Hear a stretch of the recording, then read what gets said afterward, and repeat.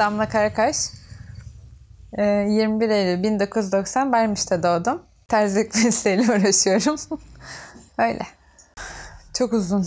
Yani baba tarafım o soy ağacı çıkartılmıştı ya bir o zamandan yani ona bakmıştım da bayağı eskiye dayanıyor. Anneminki de öyle. Yani şu kadar kuşaktır diyemem ama uzun yıllardır buradayız. Babaannemin dedesinin dedesinin dedesi gelmiş diyebiliyorum. Yani onu şey diye Kürdoğlu diyorlar mesela şeye babaannemin işte hani dedelerinin lakabı öyle. Doğudan Elazığ diye biliyorum. Aha. Burada yaşadım. Yani burada doğdum, burada büyüdüm. Üniversite için sadece e, Bolu'ya gittim. İki yıl bir dışarıda hani öyle bulundum. Organik tarım. Okul bitti. Yani aslında sevdiğim için okumuştum o bölümü ama e, işle ilgili sıkıntı yaşadım. Bulamadım. Yani genelde erkek tercih ediyorlardı. Denk gelmedi. Sonra geldikten sonra bir birkaç ay boş zaman geçirdim burada. Ondan sonra bir lokantaya da çalışmaya başladım. Orada yemek yaptım, garsonluk yaptım. Bir iki sene kadar orada çalıştım. Bir iki sene kadar. Sonra baktım olmayacak. Annem de dükkanı kapatmıştı. O dükkanı kapatınca dedim en azından kendi işim olur. Hiç bilmeden böyle bir işe giriştim. Hiç bilmiyordum. Yok yok hiçbir şey. Yani iğne nasıl tutulur, nasıl dikiş dikilir, makine nasıl... O kadar sıfırdan. Hiç bilmiyordum. İlk etapta annem yardımcı oldu. Bir üç yıl kadar hani birlikte çalıştık. Bu dükkandaydık yine. Ondan sonra işte o gitti. Köye yerleşti. Beni yalnız bıraktı. Öyle. Ben yani devam ediyorum. 7 yılı bitirdim. Var. Yani standart sabah gel dükkanı aç. 9-10 gibi yani gelmiş oluyorum. Akşam 7'ye kadar falan buradayım. Zaten günümün çoğunu burada geçiriyorum. Eve gidince yemek, işte e, öyle meşgaleler. Onunla vakit geçiyor. Sonra da yani bazen dışarı çıkarız.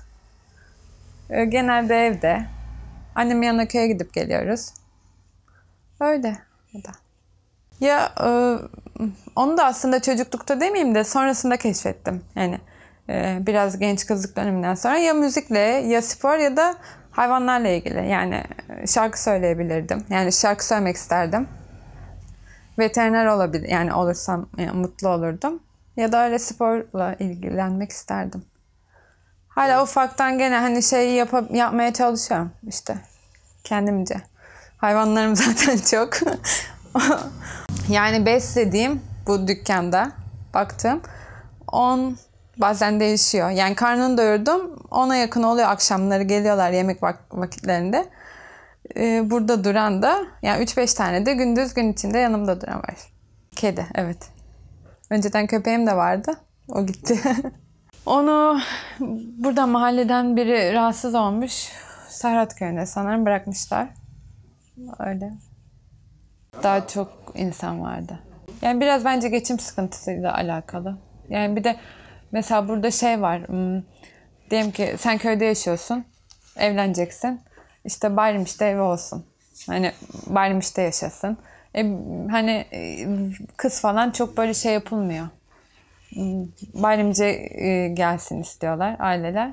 Öyle olunca da yavaş yavaş hani önce köye gidip gelerek devam ediyor. Sonra baktı olmuyor. Yani benim gözlemim bu sadece. Bari buralarda bir işe gireyim. Nasıl olsa evim var diyorlar. Çünkü ev aldırıyorlar. öyle şey yani öyle bence göç oluyor. Bu taraflara geliniyor. Bir de tarla bahçe bilmiyorum belki zor da geliyor insanlara. Yani. Valla hani burayı seviyorum aslında ben. Bayramici evet. Yani merkez olabilirdi. Yani Türkiye bazında düşünürsek. Ve yine de yani batı, deniz kenarı öyle bir yer olsun isterdim. Yok yok yani Çanakkale de şey hani benim için iyi bir yer. Ee, Geyikli. Yani deniz o, o, olsun yani. deniz, dağ işte öyle. Fazla paylaşımcı. Yani verici olduğunu düşünüyorum ben hatta. Böyle el fazla yani eli açık derken kafa olarak böyle herkese yardım edeyim. Hani iyi olsun herkes. Hani öyle e, öyle yaşayan biri. Öyle isteyen biri bence. Genelde böyleydi. Yani belki annem olduğu için ben öyle hissediyorumdur ama genel olarak onun mesela arkadaşlarımdan da diyorum. Fazla paylaşımcı. Öyle. İyi bir şey ama yine de daha kontrollü olmalı bence. Ya hani hayatıyla, yaşamıyla 50 yaşında hala işte hep mücadele, hep bir şeylerin savaşı, hep diretiyor yani. Hani ayakta kalmaya çalışıyor. Kalamaz. Tamam hepimiz bir şeyler için uğraşıyoruz, mücadele ediyoruz. Zaten yani yapmamız gereken bu ama e, nasıl diyeyim? Hani belli bir yaştan sonra biraz daha rahat yaşamalı insanlar. Biraz daha hani gelecek kaygısı olmamalı falan ya. Annem mesela onu yaşıyor. E, onun için biraz şey, biraz daha e, dikkatli davranmalı bence. Gelecek kaygısı yaşamamak için değil. Yani e, düzen kurmalıydı şimdiye kadar. Hani oturtmalıydı. Onun için hani bu fazla verici olduğundan dolayı hani o iyi olsun, o iyi olsun derken e, kendi şeyine oturtamadı. Kendi hayatına oturtamadı bence. Önceden değil mi? Önceden böyle biraz daha şeydim. Hmm. Daha ben de daha katıydım. Daha böyle ketumdum. Ona kızdığım şeyler vardı. Yani hayatıyla kendimizle ilgili. Şimdi biraz daha yumuşadım ben. Belki hani annem değişti, belki ben değiştim onu bilmiyorum ama hmm. yani hep böyleydi aslında. Sanırım. Ya yaşının getirdiği illa var. Yani nasıl diyeyim? Mesela önceden daha umursuzdu, daha böyle şeydi, gamsızdı. Şimdi biraz daha mesela o, o huyları değişti. Daha farklı oldu. Yani mesela önceden bir evi olsun diye istemezdi. Hani olmasa da olur derdi. Hani bir şekilde yaşanır derdi. Ama şu an mesela bir ev olsun diye uğraşıyor. En basit örnek bu bence. Normal tabii. Ama bunu daha önceden bence düşünmeliydi işte. Hani an, e, ondan bahsediyorum. Ne bileyim bir 30 yaşında bunun için uğraşsa, bunun için müda- mücadele etse şu an onu yapmak yani şu an bunu düşünmemiş olacaktı. Yani farklı şeyleri olurdu belki o zaman da. Daha huzurlu olurdu, daha rahat olurdu. Tabii ki de yok. Hiçbir şeyin yok ama. Ama gene de yaşamak için de ihtiyacımız var yani. Ben öyle çok şey değilimdir ama ne bileyim insanın belli standartları olmalı.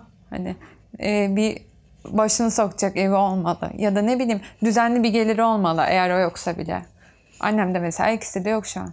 Yani gene emeklilikleri var e, insanların. En azından. İşte çiftçi bağ kuru. Bağ kuru götürüyorlar. Nasıl ben esnafım, esnaf bağ kuru götürüyorum. Onda yeni başladım da onlar da öyledi. Yani şu an yok. Dükkan varken bir dönem e, şey yaptı. Esnaf olarak yapmıştı da şu an yok. Genelde öyle hep tersti. Annem kendisi de der mesela. Bazen ben anne o çocuk gibi olurdu. hani o kendi derdi yani.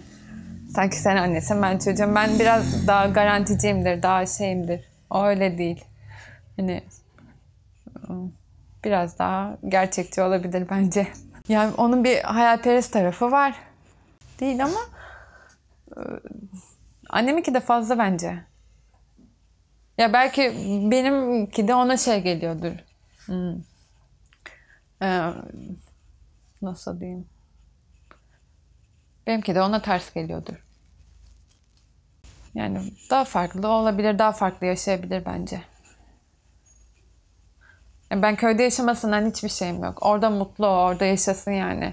O mutlu olunca ben de mutlu olurum. Ama daha iyi koşullarda, daha farklı bence. Yok isterse gelebilir. Ama orada daha mutlu olduğu için orada yaşamalı. Ben de mesela iyi oluyor. Benim bizim için de iyi oluyor. Ben de seviyorum köyü. Bir kapımız oluyor gittiğimizde işte. Hani daha yani iyi oluyor. Hafta sonları oradayız genelde. Yani pazar günleri. İşte arada akşamları yemeğe gidiyoruz. Her hafta yani illa gidiyoruz bir sıkıntı bir ekstra bir işimiz çıkmazsa.